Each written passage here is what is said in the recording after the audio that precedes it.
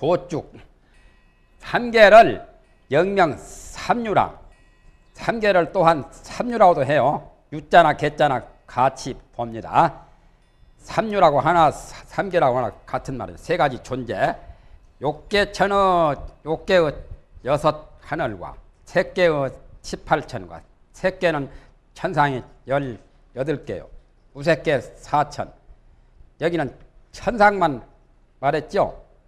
28천이죠. 욕계는 천상 외에도 인간, 지옥, 아기, 축생, 아수라까지 다 있죠. 그것들이 다, 다써 개의 수행 공덕이 증거이 상하야 다써 수행한 공덕이 더욱더 높아서 올라가서 자꾸 자꾸 욕계천보다 색계천이 더하고 색계천보다 무색계천이 더하고 욕계도 사왕천보다는 도리천, 도리천보다는 야마천, 야마천보다는 도솔천, 도솔천보다는 화락천, 화락천보다는 타와 자재천, 색계도 이제 범보천보다는 범중천보다는 범보천, 범보천보다는 대범천, 대범천보다는 소광천 이렇게 해서 자꾸 자꾸 올라갈수록 더 높습니다. 올라갈수록 수명도 더 길고 복수용을 더하고 거기에 여러 가지 그 생활이 더욱 더 윤택하고 더 좋아요. 밑으로 내려갈수록 나빠요. 지옥에 가면 가장 나쁘잖아요. 그렇게 해서 수행한 공덕이 공덕을 수행함이 해도 되고 더욱 높아가지고 올라가서 기 신장과 수명이 역계 배징이라 그 신장과 수명들이 또한 다 배로 증가합니다. 가령 예를 들면 욕계천에도 사왕천이 가령 말년 살면 도리천은 2만년 살아요. 야마천은 4만년 살고 그게 배배로 배배로 높아져요. 그러나 복의 과보가 다할 때는 복보가 진시에 개타 윤회니 복을 받는 과보가 다 없어질 때는 그걸 다 받고 난 다음에는 모두 다 윤회에 떨어져요.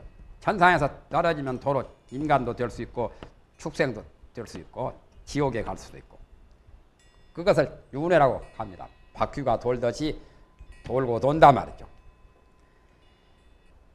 그것은 몸을 바꾸어서 윤회하는 거고 시시각각으로 생각이 찰나찰나에 바뀌는 것도 윤회입니다.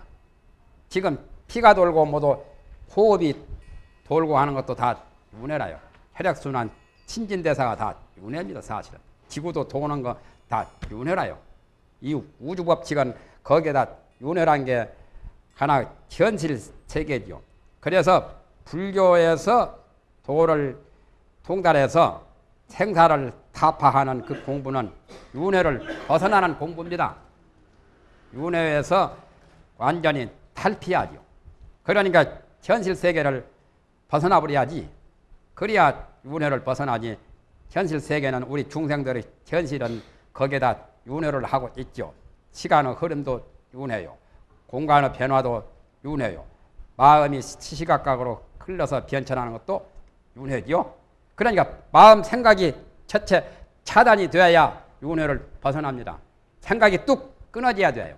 생각이 생각을 초월해야 윤회를 벗어납니다. 무념이 되어야 1년만 되어도 윤회를 좀 벗어나지요. 잡념에서 1년, 1년만 되어도 윤회가 어느 정도 쉽니다. 그러다가 무념이 되면 완전히 끝쳐버리죠. 이 공부 뺏기는 없어요. 개수기 이 개수 귀유 삼보하여사 방능 요탈 생사라 모두가 모름지기 삼보의 귀유를 하여사 불법승 삼보죠. 진리가 법인데 법을 깨달은 사람은 투철하고 법을 수행하는 보살과 나한들은 성고라고 하죠. 그러한 불법성 삼보 진리의 그 가장 유대한 도의 귀구를 해야 삼보가 바로 도입니다. 도. 도를 대신한 것. 명명덕 하신 분이 삼보요. 명덕을 밝힌 분이 그 삼보의 귀구를 해야만 비로소 능히 죽고 사는 것을 벗어날 수가 있습니다. 통달하여 벗어납니다. 고로 불시 삼계 대사라. 부처님은 삼계 대사라. 아까 삼계 대사며 사생자부라고 했죠. 그걸 설명합니다. 삼계 중생이 불여 테란스파 사종이네. 삼계의 중생들이 테란스파 태생, 난생, 습생, 화생 네 가지 종류에 벗어나지 아니함이니. 바대자는 벗어날 외자입니다. 그 밖에는 없다만. 부처님도 인간의 태어나면은 태생이죠.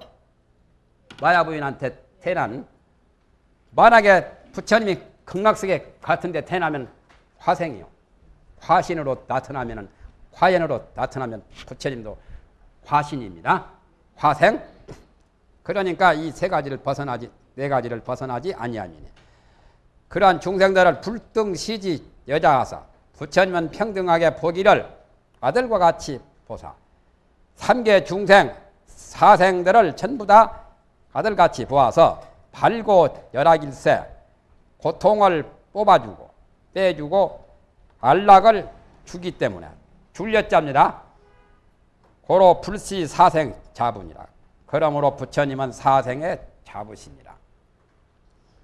대통령이 새로 취임하거나 왕이 새로 무슨 직위를 하거나 또한 국경일이 있으면 모든 죄인들을 다 석방해 주지요.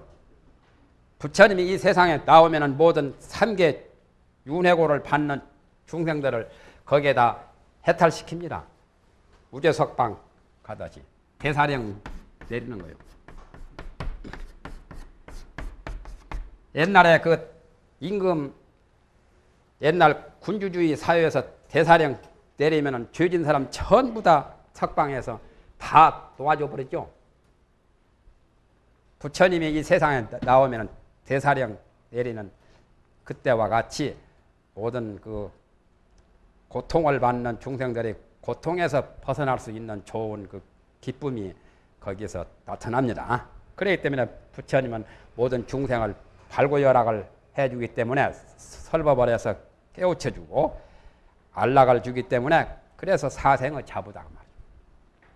시운 시해운 절피남산이여 유석 암함이로다.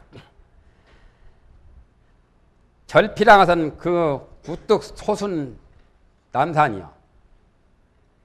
절자는 주자는 이 절자와 같은 걸로 보았죠. 이 절자. 주자의 해석은 이 절자가 이 절자.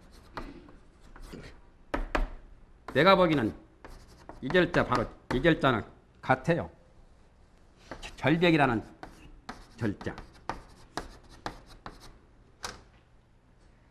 주자는 이렇게 해석했죠. 절. 절연이라고.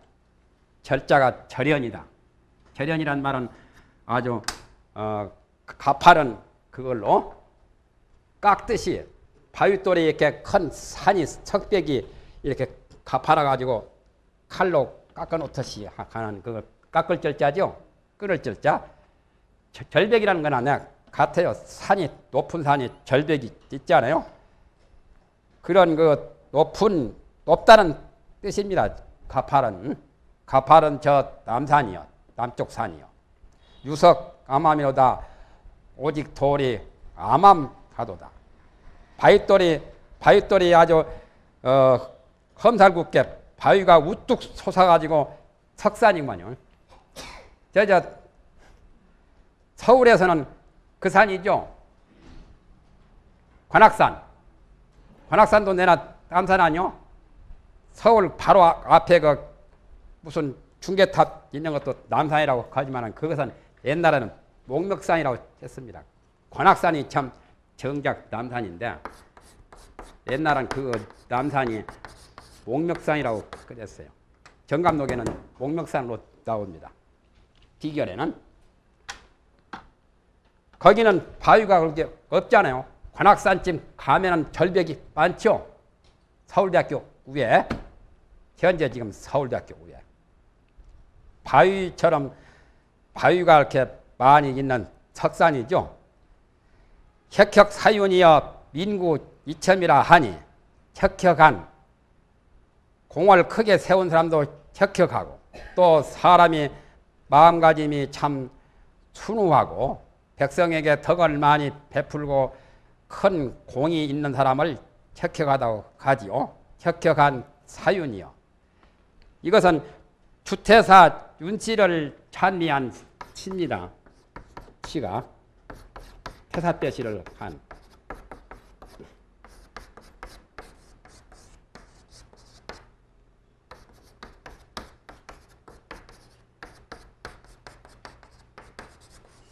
시경에 나오는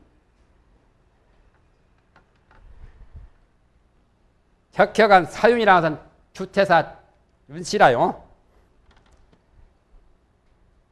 백성들이 함께 민구 이첨이라 하니 다구자지요. 다구자가 지금 그 기자 같이 생겼네요. 백성들이 다 너를 본다 하니 너희 자인데 너희 자는 바로 사윤을 가리키는 말이죠. 주태사 윤씨를 주태사 윤씨가 얼마나 참 의젓하고 정치를 잘하고 백성들에게 모범이 되든지 백성들이 다 너만 바라보고 있단 말이야. 네가 정치를 잘하고 대단히 참 위대한 그런 덕을 기리면서 백성들이 다 너를 본다고 했으니 거기까지가 시어 말입니다. 민구 이첨이라 하니 유국자가 불가히 불신이니 나라를 소유한 자는 가 있어 삼가하지 아니치 못할 것이니 나라를 소유해서 정치를 한 사람은 더욱더 책임이 막중하지요. 집을 하나 가진 사람보다 나라를 가진 사람은 더 여러 가지로 참 할 일이 많잖아요. 그래서 일거일동을 삼가하지 아니할 수가 없나니 벽지기 천하 유진이라 편벽되면은 천하에 욕된 것이 된다. 욕될 육자입니다. 욕이 될 육자. 욕이 된다. 천하 사람에게 욕을 얻어먹게 된다. 천하에게 큰 오점을 남기고 큰 어, 욕이 된다. 이자와 같은 거죠. 욕될 육자. 발음이 육입니다. 욕될 육. 죽일 육자인데 욕으로 말합니다. 치해운 은지 미상사에 극배 상계련이 이가무 건이여다. 치경에 말하기를 은나라가 군중을 상실하지 아니했을 적에는 능히 등할 극자 능히 상제에게 짝을 했더니 옥황상제죠.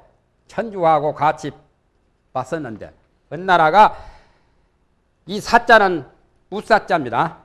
민중이라요.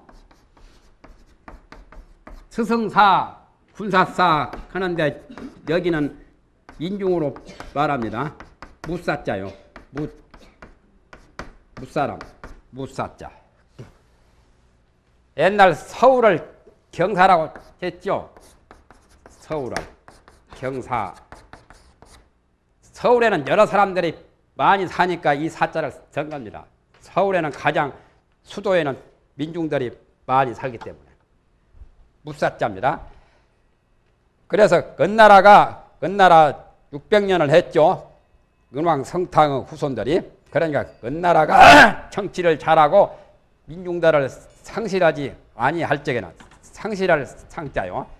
민심을 잃지 않고 정치를 잘하고 그렇게 은나라가 성할 적에는 능히 상계에게 같이 짝을 했더니 옥황상계 하나님하고 같이 그런 서열이 같고 같은 그런 덕을 지니고 상계와 맞먹었는데 그 다음으로는 준나라 때 망해버렸죠. 준나라 강태공 때 은나라 것이 상주가 정치를 잘못해가지고 달기 때문에 망했잖아요. 이가무 건이여다. 이자는 마땅히 자입니다. 마땅히 자로 통합니다. 마땅히 은나라를 거울해 볼지어다. 은나라가 처음에는 잘했는데 끝맺음을 잘못해가지고 망해버렸죠. 망했다는 것을 보라 그 말이죠. 준명은 풀이라 하니 무거운 것이 저 높을 둔자죠. 높은 거룩한 그 하나님의 명령은 거룩한 운명은 쉽지를 않다 말이죠. 잘못하면은 뭐 아무리 조상이 잘했더라도 자손 때 와가지고 정치를 잘못하면 망하기 일수거든. 정치를 잘못하면 망하지 않아요. 그러니까 그런 그 고준한 높은 그런 명은 쉽지 않다 말이죠. 그러니까 준명이라는 천명이죠. 상계의 그런 명이죠. 옥황상계 그 나라를 오래오래 간직할 수 있는 그러한 준명은 쉽지를 않다.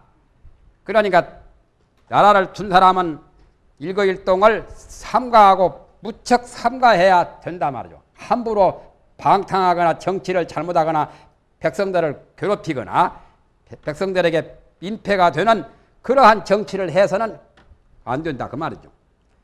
거까지가 시의 말인데 그 밑에는 이제 설명입니다. 도 득중직은 득국하고 칠중직 칠국이라 여러 민중을 얻은 직은 나라를 얻을 수 있고 민심을 얻으면 국가를 나라를 일으키거든요. 나라를 얻을 수가 있고 칠중직은 칠국이라 여러 민중들을 상실하게 되면 이렇게 되면 나라를 잃습니다. 민중을 잃으면 민심이 직 천심이라고 그랬죠. 속담에 민심을 알려면 천심을 보면 되고 천심을 알려면 바로 민심을 보면 됩니다. 민심이 곧 천심이다.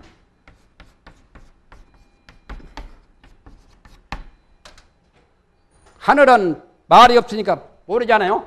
백성들은 말을 하지요. 백성들 그 여러 가지 그 동태를 보면 알 수가 있잖아요. 민심이 곧 천심이라요. 그러니까 민중을 잃으면 나라를 잃게 된다 말이야. 한 사람을 얻으면 그마치 소득이 있고 한 사람을 잃게 되면 그마치 큰 손해가 있는 거죠. 치고로 군자는 선신호 덕이니 그러므로 군자는 먼저 덕을 삼가해야 할 것이니 유덕의 차 유인이요 덕이 있으면 이에 사람이 있고 덕이 있으면 사람이 따라 오지요. 유토의 차 유재요. 토지가 있으면 이에 재산도 있단 말이에요. 국가 영토를 가지고 있으면 그 안에 생산된 재산이 재물이 많지 않아요? 삼천리 강토를 형용하면 삼천리 강토에 생산된 재산이 다 있잖아요. 지금은 삼천리도 못 돼가지고 재산이 줄어버렸죠. 남한만 있잖아요.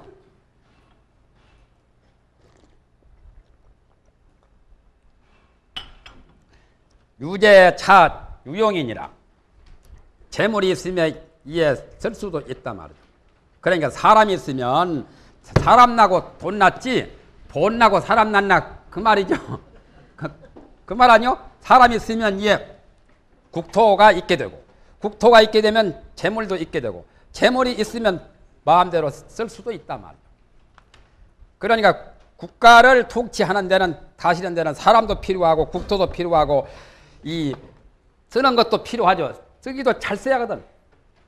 3대 요건이 갖춰져야 나라가 되지 않아요?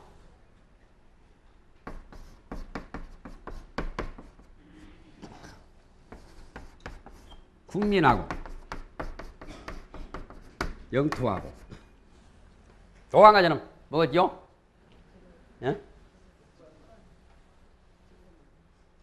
또 한 가지 뭐예요? 정부? 예? 이게 가장 중요하죠. 국민이. 세 가지 3대 요건이 갖춰지면 나라가 형성됩니다.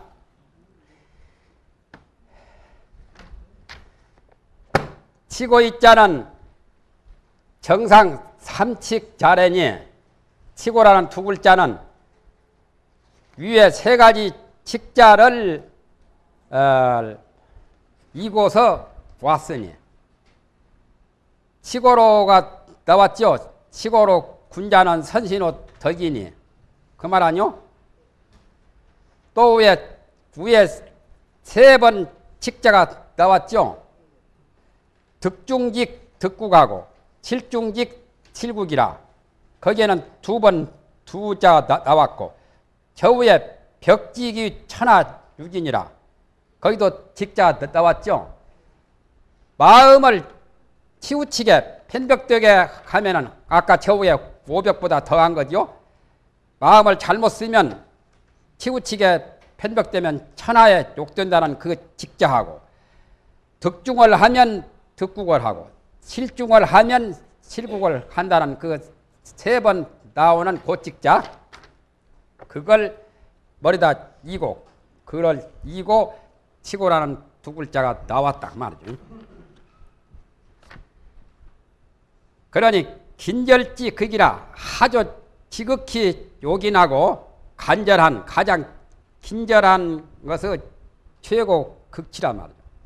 그러니까 그게 참 어, 벽직은 천하 천하에 오게 되니까 벽에서는 안 되고 편벽되어서는 안 되고 득중하면 득국하고 실중하면 실국하니까 여기서 가장 중요한 것은 글자 두 자입니다.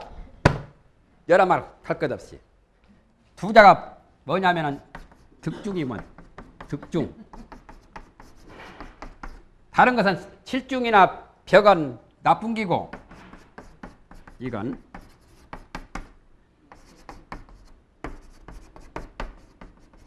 이런 것들은 다 나쁜 거고 이것만 좋은 거니까 두 글자에 가장 생명이 걸려 있어요.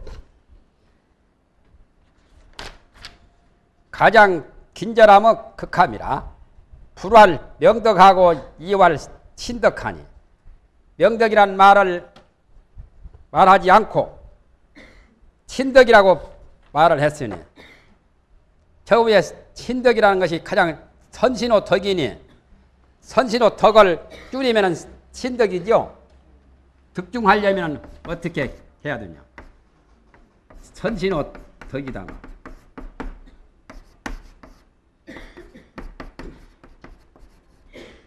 줄이면 신덕이고 먼저 덕을 삼가해라. 이 말은 바로 신덕이 바로 명덕 아니요? 이 신자고 덕자가 바로 명덕입니다. 바로.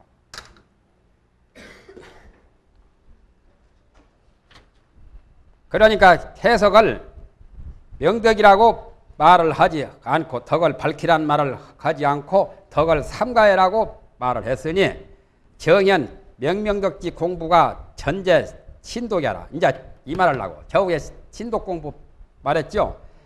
밝은 덕을 밝히는 그 공부가 온전히 신독에 있는 것을 바로 나타냅니다.